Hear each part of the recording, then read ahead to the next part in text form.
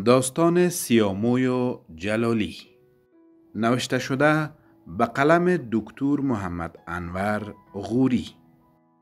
گوینده داستان اجمل غفوری. سلام های گرم مرا پذیرا باشین. آرزوی صحتمندی و تندرستی فرد فرد شما عزیزان خوبان را دارم که همواره کنار ما هستین و چینل افغانستان جورنال را تعقیب می‌کنین. قبل از آغاز داستان لطف کرده channel افغانستان Journal را subscribe کنید و دکمه زنگ را هم فشار بدین و سپاسمند هستم از حمایتتان و از اینکه همیشه کنار ما هستین. ما و تیم کاری که در channel افغانستان Journal همواره فعالیت داریم تلاش بر تنوع و تغییر در داستان ها هم هستیم و همیشه کوشش می‌کنیم داستان های زیبا را خدمتتان تقدیم بکنیم. در کنار داستان های نوشته شده توسط خانم فرشتغنی و داستان هایی که از شنونده های خوب ما دریافت می‌کنیم. ما و همکاران عزیز ما همواره تلاش به این می‌کنیم تا بعض از داستان های واقعی که در تاریخ ثبت هستند همچنان تقدیم حضور شما بکنیم که واقعا شنیدنی و زیبا است. پس ما را امراهی بکنین و این داستان زیبا را تا اخیر بشنوین. سیاموی و جلالی یکی از قصه های مشهور فولکلوریک کشور ما می باشه. ماجرای عشق سیاموی و جلالی سالیان متمادی به صورت آوازه ها، درامه ها، فلم ها، روایات آمیانه و آهنگ های محلی سینه به سینه تا امروز منتقل گردیده ولی با هم قصه به صورت مبهم بوده و واقعیت او طور دقیق روشن نمی باشه. سیاموی و جلالی در واقعیت داستان عشق و محرومیت دو دلداده است که همی چند دهه قبل در ساحات مربوط ولایت غور اتفاق افتیده. این قصه بیشتر در قالب اشعار محلی و چار بیتی های محلی سینه به سینه انتقال یافته. گویند که خود جلالی شاعر بود و چندین صد بیت شعر دارد. در منطقه که جلالی زندگی می‌کرده ای ابیات تا هنوز ورد زبان مردم است. زمان که سیاموی و جلالی هشت ساله بودن هر دو در خواب می‌بینند که در سن جوانی همدیگر در جای مشخص ملاقات خواهند کرد. امی قسم میشه و ای دو نفر عاشق امو چهره که در خواب دیدن میشن.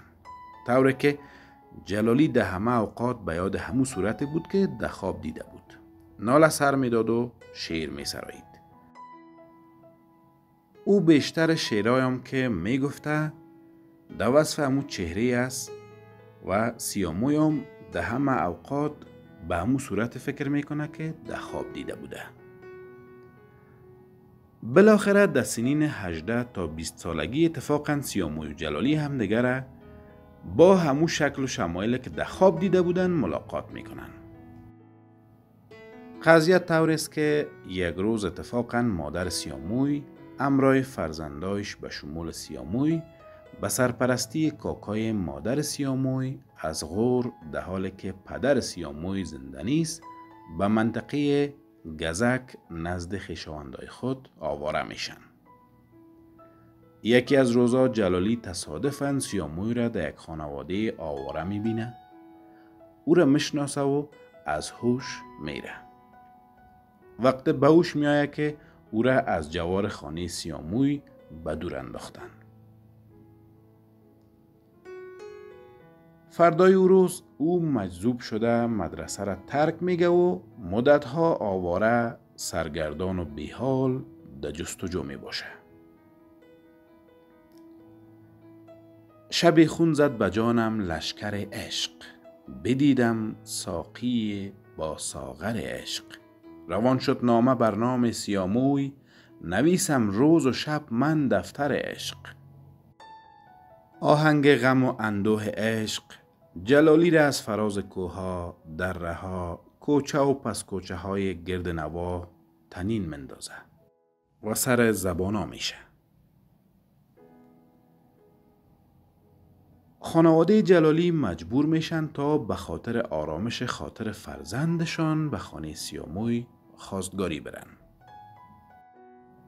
ولی ای که خانواده جلالی فقیر و تنگدست هستند کاکای سیاموی حاضر نمیشه تا این وصلت را قبول کنند ای کار باعث میشه تا ناله های پرسوز جلالی پرسوزتر شوه و درد وسال جانان او را به سرحد جنون بکشانه شور و غوغای متداوم جلالی فامیل سیاموی را مجبور می کند تا از گزک به قریه دیگه به نام برج آشکار پناهنده شوند. ولی صدای ناله های زار و دردناک جلالی در قالب آهنگ های محلی اونا را سایوار تعقیب می‌کنه وقت والدین جلالی حالت او را چونین می‌بینن او را به منطقه خودش یعنی قریه گزک نزد یک شخص روحانی به نام خلیفه عبدالرحمن جان میارن و خلیفه قدر او را تسکین میده بعد از او در گزک در برج آشکارا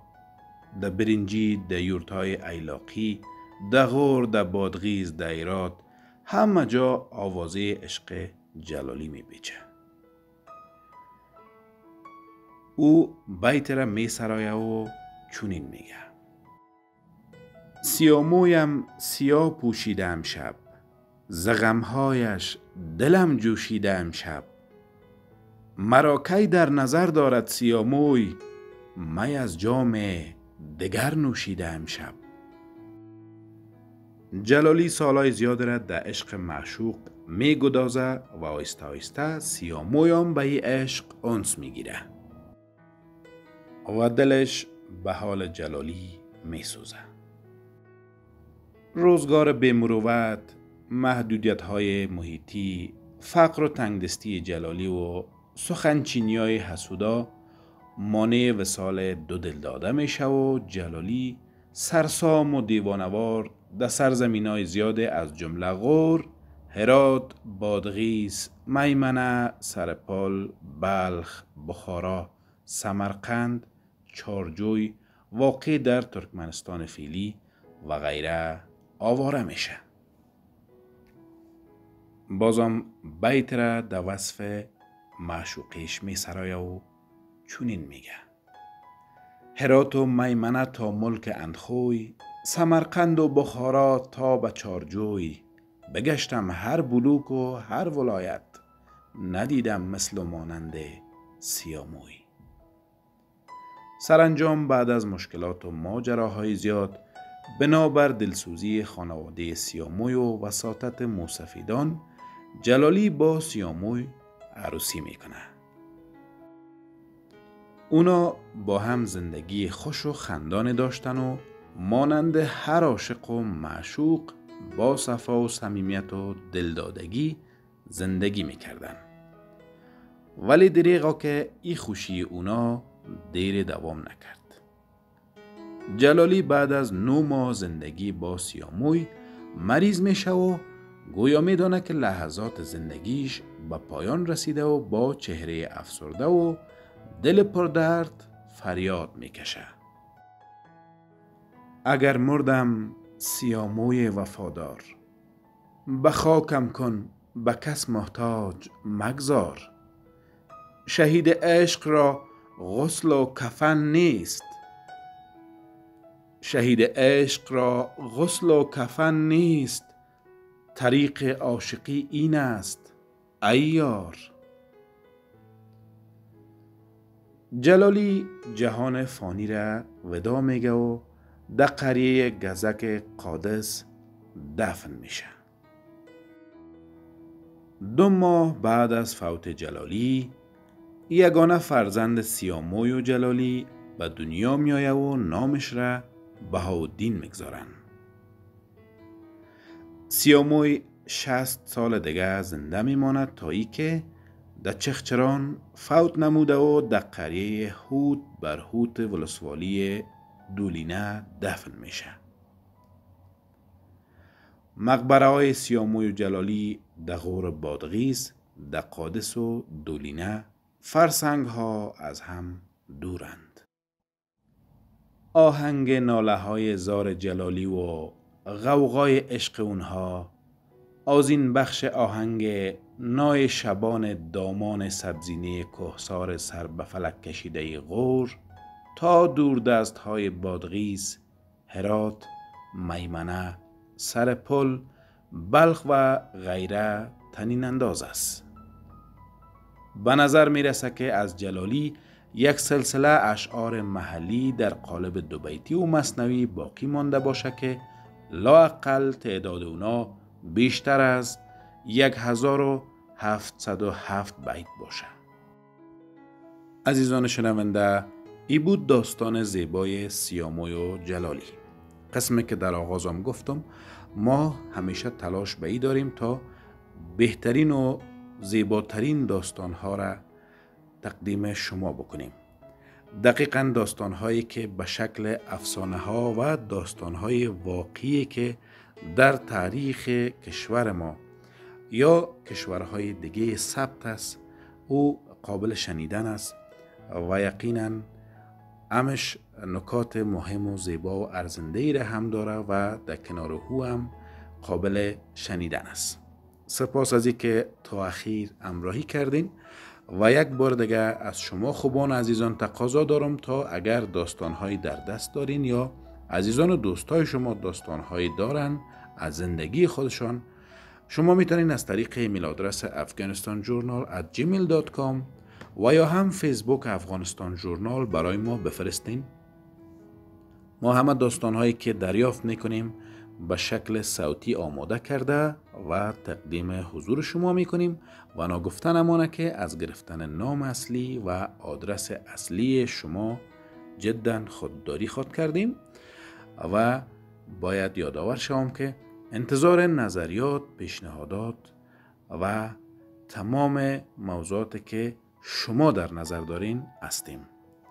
سپاس از امراهیتان، از حمایتتان از پیام های زیبایتان که همیشه ما را انرژی می بخشه. تا داستان های دیگر هر یکتان الله پاک و بینیاز مسپارم خداوند حافظ و نگهدار همه شما خوبان باد